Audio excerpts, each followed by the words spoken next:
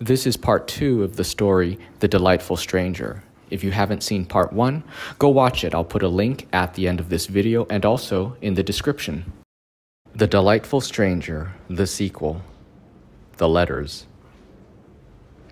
September 21, 1973. Dear Eric, I hope this letter finds you well. It's been a year since we last saw each other, and my heart still aches from our parting. I often visit our park bench where we shared our secrets and dreams. The memories are etched in my heart, and I cherish them dearly. Life in our small town continues, but it's not the same without you. The sunset at the park are still as beautiful, but they lack the warmth of your presence. I remember the way your eyes sparkled in the twilight. I'm grateful for the time we spent together, even though it was brief. Ollie's passing was a difficult time, but his words of encouragement stayed with me. I've tried my best to find happiness, but a part of me will always belong to you. Please take care of yourself, Eric. I hope you find joy and success in your life in the Netherlands. Write to me when you can, and know that my thoughts are always with you. With warmth and affection, Fatima. December 10, 1973. My dearest Fatima, your letters brought tears to my eyes. I think of you often, and the memories of our time together keep me company during these long, chilly nights here in Utrecht. Life here is different, and I miss the vibrant colors and sounds of Indonesia. But the most profound absence is the sound of your laughter and the sparkle in your eyes. I remember the way you made every day feel like an adventure. I'm doing my best with my studies and making new friends, but none of them can compare to the connection we shared. It's like a beautiful painting with a missing piece. You're that piece in my life, Fatima. Please continue to take care of yourself and find happiness. I hope that someday fate will allow our paths to cross again. Until then, know that I carry your memory in my heart. With love and longing, Eric.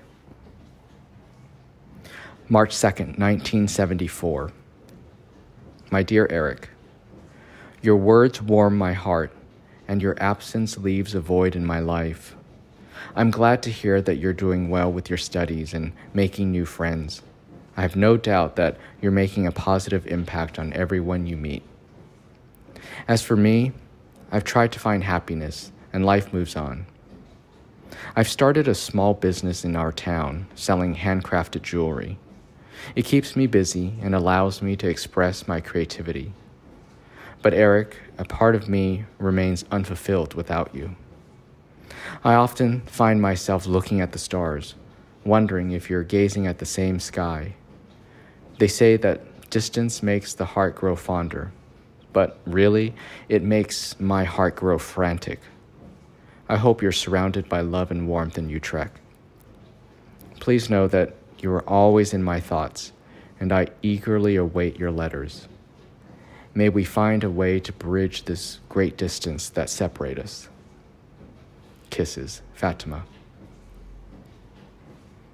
July 1st, 1974. My dearest Fatima, your letters are my lifeline and they bring me solace. I'm glad to hear that you found a creative outlet with your jewelry business. Your talents are boundless, and I'm sure your creations are as beautiful as your heart. Life here in Utrecht is busy, but there's a hollowness that never fades. I've met many people, but none of them can fill the void you left behind. I long for the day when I can see your smile again. Fatima, I've been offered a job in Amsterdam and it's too good to pass up. I've accepted it.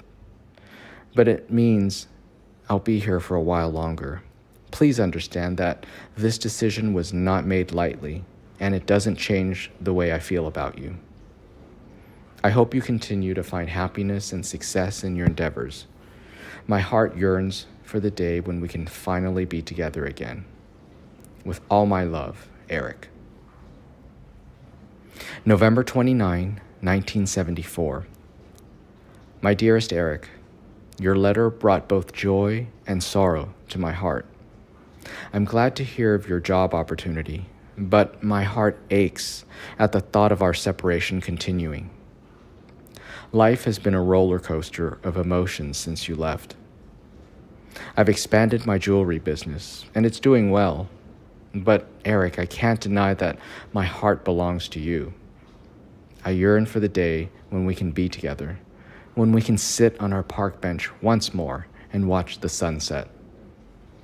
Time has passed, and I've grown older, but my love for you remains as strong as ever.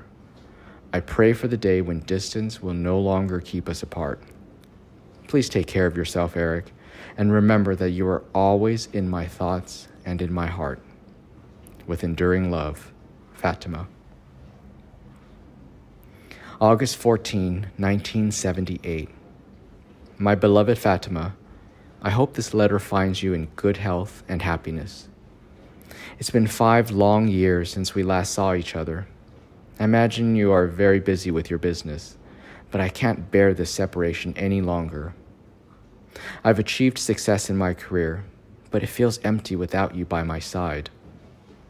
I've been thinking, Fatima.